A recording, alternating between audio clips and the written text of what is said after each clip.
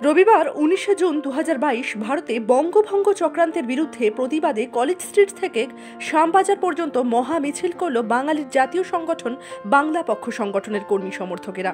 এদিন মিছিলে পা মেলান হাজার হাজার বাঙালি।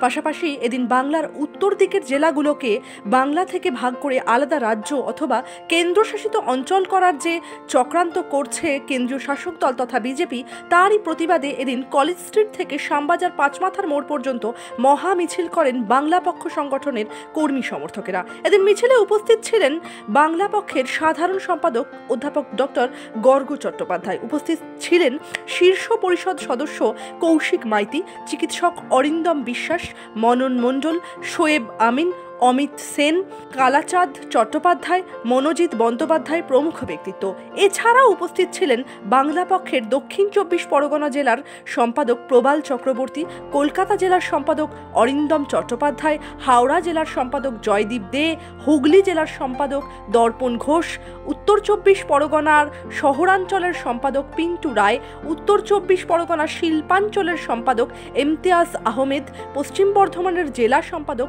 অক্ষয় বন্দ্যোপাধ্যায় উত্তর চব্বিশ পরগনা গ্রামীণের সম্পাদক দেবাশিস মজুমদার ও বাঁকুড়ার জেলা সম্পাদক অচিন্তনাথ প্রমুখ ব্যক্তিত্ব।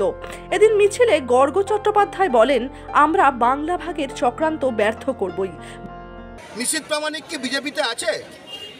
জিজ্ঞেস করছি, উত্তর তো হ্যাঁ সে বাংলা ভাগ চায়। জন বার্লা কি বিজেপিতে আছে? উত্তর হচ্ছে হ্যাঁ সে বাংলা ভাগ চায়। সৌমিত্র খা কি বিজেপিতে আছে? উত্তর হচ্ছে হ্যাঁ সে বাংলা ভাগ চায়। বিজেপি কি এদের এমপি পদ খারিজ করেছে? না, কারণ এরা বাংলা ভাগ চায়। বিজেপি কি নিশীত প্রামাণিক আর জন বার্লাকে মন্ত্রী করেছে? হ্যাঁ কারণ এরা বাংলা ভাগ চায়। আমরা সব বুঝি, আমরা সব বুঝি, বাংলার মাটিতে এখন বাংলাকে যারা ঐক্যবদ্ধ রাখবে, তাদের শুধু কথা চলবে। আমরা তো স্পষ্ট বলছি, বাংলা পক্ষ প্রতিটি বিজেপি জনপ্রতিনিধি সে পঞ্চায়েত হোক পৌরসভা হোক এমএলএ হোক এমপি হোক আমরা কাগজ নিয়ে যাব। অনেকে বলে না আমরা বিজেপিকে কেন অ্যাভয়েড করি? অ্যাভয়েড করার তো কারণ আছে। সিপিএম একদিন সরকারে থেকেছে কখনো তারা বাংলা ভাগের কথা বলেছে। তৃণমূল এতদিন সরকারে থেকেছে তারা কখনো বাংলা ভাগের কথা বলেছে। তার মানেটা কি? সকল দলের থেকে এই দলটি একটি আলাদা রকম একখানা জিনিস এবং লোকাল কিছু কর্মচারী বসিয়ে দিয়েছে, কারণ দিল্লি থেকে এই বহিরাগতরা ভাবছে এই এজেন্টগুলো, দালালগুলোকে দিয়ে এরা বাংলা ভাগ করাবে। আমরা হতে দেব না।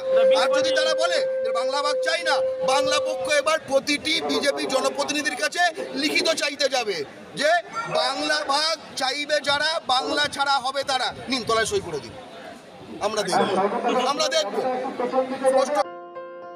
বাংলা পক্ষর মিছিল থেকে প্রমাণ হলো বাঙালি জেগে আছে এবং বিজেপি চক্রান্ত করছে আমার মুখ বন্ধ করে দেওয়ার।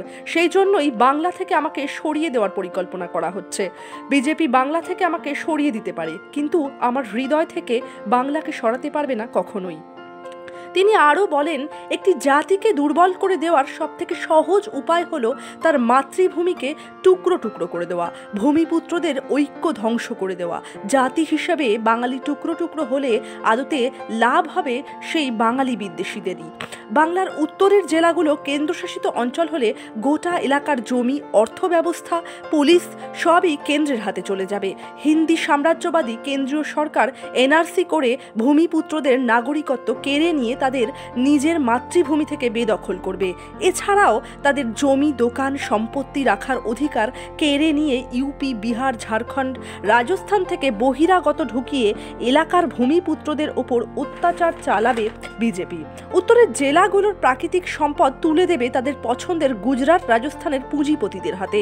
সেখানে সম্পূর্ণ গুরুত্বহীন করে দেওয়া হবে বাঙালি সহ ভূমিপুত্রদের। এদিন মিছিলে কৌশিক মাইতি বলেন, গর্গ চট্টোপাধ্যায়ের ওপর আঘাত হানলে বাংলার প্রতিটি জেলা, বাংলার প্রতিটি ঘরে প্রতিবাদের আগুন জ্বলবে। তিনি আরও বলেন, বিজেপির কেন্দ্রীয় সরকার তিস্তার জল বাংলাদেশে পাঠিয়ে বাংলার উত্তরের জেলাগুলোকে শ্মশানে পরিণত করার চেষ্টা করছে। বাংলার সরকার রাজি না হওয়ায় এখনও পর্যন্ত পর্যন্ত কেন্দ্র তিস্তা চুক্তি বাস্তবায়ন করতে পারেনি। বাংলার উত্তরের জেলাগুলিকে কেন্দ্রশাসিত অঞ্চল করতে পারলে দিল্লি তিস্তার জল সহজেই বাংলাদেশে পাঠাতে পারবে। এখনও পর্যন্ত এই চক্রান্ত আটকে রেখেছে বাংলার সরকার। কিন্তু বাংলা ভাগ হলে উত্তরের জেলাগুলোর প্রশাসনিক নিয়ন্ত্রণ আর বাংলার সরকারের হাতে থাকবে না। বিপন্ন হয়ে যাবে উত্তরের জেলাগুলোর বাঙালি সহ ভূমিপুত্রদের অস্তিত্ব। বাংলা পক্ষ প্রথম দিন থেকেই বিজেপির এই বঙ্গভঙ্গ চক্রান্তের বিরুদ্ধে সোচ্চার হয়েছে। এর আগেও গোর্খাল্যান্ড তৈরি করে বাংলাতে দু টুকরো করার ষড়যন্ত্র করেছিল বিজেপি, আরএসএস।